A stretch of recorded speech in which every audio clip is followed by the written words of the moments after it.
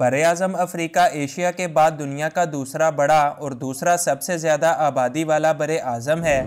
افریقہ کا کل رقبہ ساڑھے تیس ملین سکیئر کلومیٹر کے لگ بھگ ہے اور آبادی ایک اشاریہ دو بلین افراد سے زیادہ ہے۔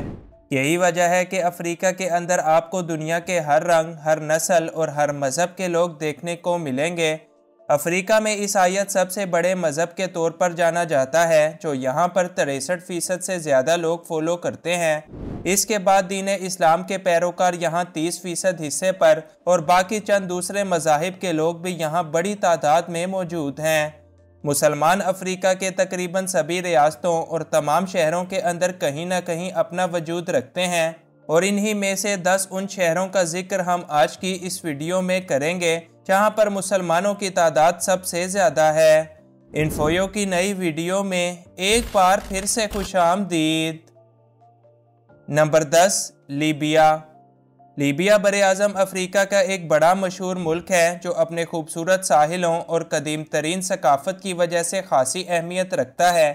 لیبیا میں مسلمانوں کی کل آبادی ساڑھے چھ ملین افراد سے زیادہ ہے، جو اس ملک کی کل آبادی کے چھیانوے فیصد سے زیادہ حصے پر مشتمل ہے لیبیا کی کل آبادی سات ملین افراد سے زیادہ، جبکہ اس ملک کا کل رقبہ سولہ لاکھ چھہتر ہزار ایک سو اٹھانوے مربع کلومیٹر ہے۔ ساتویں صدی عیسوی کے دوران لیبیا میں مسلمانوں کی آمد کا سلسلہ شروع ہوا اور گیارہویں صدی تک یہاں پر مسلمان اپنی پوری شان و شوکت اور ایک بڑی آبادی کے ساتھ رہا کرتے تھے۔ نمبر نو، کوموروس۔ سب سے زیادہ خوبصورت ساحلوں اور لاوا سے بھرپور پہاڑوں سے گھرا ملک کوموروس افریقہ کی سب سے دلکش سرزمین کے طور پر جانا جاتا ہے۔ یہاں کی کل آبادی ساڑھے آٹھ لاکھ سے زیادہ ہے اور رقبہ دو ہزار دو سو پینتیس مربع کلومیٹر پر مشتمل ہے۔ کوموروس میں اسلام سب سے بڑے مذہب کے طور پر جانا جاتا ہے۔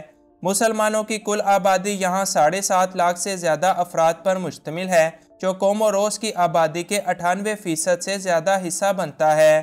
رپورٹس کے مطابق عرب سے آنے والے تاجر اور ایران کے بادشاہ کوموروس میں اس قدر دین اسلام کی ترقی اور آبادی کی ایک بڑی وجہ ہے۔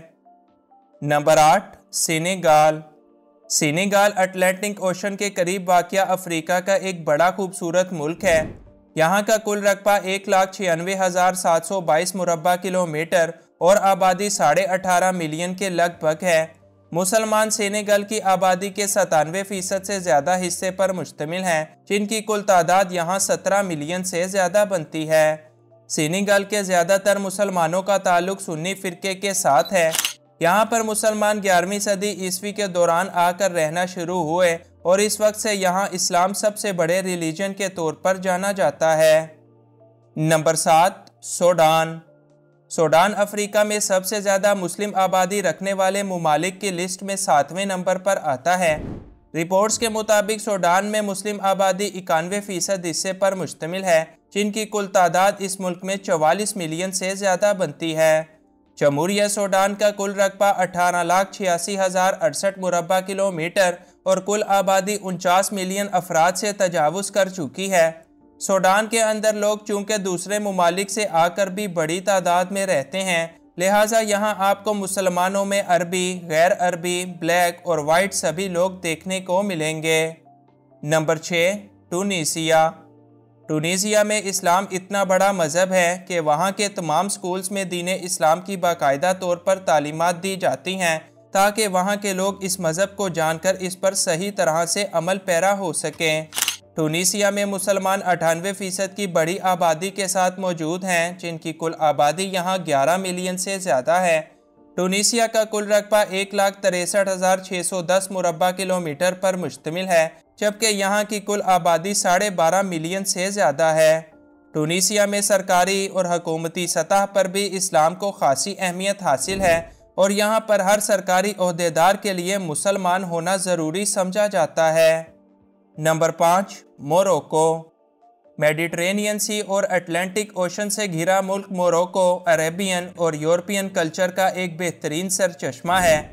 اس خوبصورت ملک کا کل رقبہ سات لاکھ دس ہزار آٹھ سو پچاس مربع کلومیٹر اور کل آبادی اٹھتیس ملین افراد سے تجاوز کر چکی ہے۔ یہاں پر بھی دین اسلام سب سے بڑے مذہب کے طور پر جانا جاتا ہے، جن کی کل تعداد اس ملک میں ساڑھے پینتیس ملین افراد سے زیادہ ہے، جو کل آبادی کے ترانوے فیصد حصے پر اپنا وجود رکھتے ہیں۔ موروکو میں اسلام سال 680 کے دوران تاجروں کے ذریعے آنا شروع ہوا اور بعد میں یہاں پر مسلمان حکومتیں بننے کے بعد اسلام میں بڑی ہی تیزی کے ساتھ ترقی دیکھنے کو ملتی رہی۔ نمبر چار، الجیریا۔ الجیریا، افریقہ کے سب سے بڑے مسلم ممالک کی لسٹ میں چوتھے نمبر پر آتا ہے۔ اسلام الجیریا کے اندر امیہ دور خلافت کے دوران آنا شروع ہوا اور پندرہویں صدی عیسوی کے دوران اسے ایک مکمل اسلامی ریاست کا درجہ حاصل ہو چکا تھا۔ الجیریا میں آج مسلمان ننانوے فیصد سے زیادہ حصے پر مشتمل ہیں، جن کی کل تعداد یہاں پینتالیس ملین افراد سے زیادہ ہے۔ اس ملک کا کل رقبہ تیئیس لاکھ اکاسی ہزار سات سو اکتالیس مربع کلومیٹر اور آبادی چھیالیس ملین افراد پر مشتمل ہے۔ الجیریا کے اندر مسلمانوں کو اسلامی قوانین، اسلامی اصول اور طرز زندگی کو خاص اہمیت دی جاتی ہے۔ نمبر تین صومالیہ صومالیہ کی کل آبادی میں سے ننانوے اشاریہ آٹھ فیصد لوگوں کا مذہب دین اسلام ہے۔ یہاں پر مسلمانوں کی کل تعداد اٹھارہ ملین افراد سے زیادہ ہے، جن میں سے زیادہ تر لوگ سنی برادری سے تعلق رکھتے ہیں۔ صومالیہ کے اندر اسلام اپنے ابتدائی دنوں سے ہی موجود ہے، تاہم موجودہ دور میں یہاں اسلام کو خاصی بلندی حاصل ہوئی۔ صومالیہ کا کل رقبہ چھ لاکھ سینتیس ہزار چھ سو ستاون مربع کلومیٹر، جبکہ یہاں کی کل آبادی ساڑھے اٹھارہ ملین افراد سے زیادہ ہے۔ اسلام صومالیہ کے ہر شہر، ہر صوبے اور ہر قصبے کے اندر اپنی ایک مکمل آزادی اور بڑی اہمیت رکھتا ہے۔ نمبر دو، مورٹینیا۔ سال انیس سو ساٹھ میں آزادی حاصل کرنے کے بعد مورٹینیا نے اپنے آپ کو ایک اسلامی ریاست کے طور پر ظاہر کیا اور یہاں کا سرکاری مذہب آج بھی دین اسلام ہی ہے، جو یہاں پر ننانوے اشاریہ نو فیصد سے زیادہ لوگ فولو کرتے ہیں۔ یعنی اس ملک کی لگ بھگ ساری کی ساری آبادی ہی مسلمان ہے۔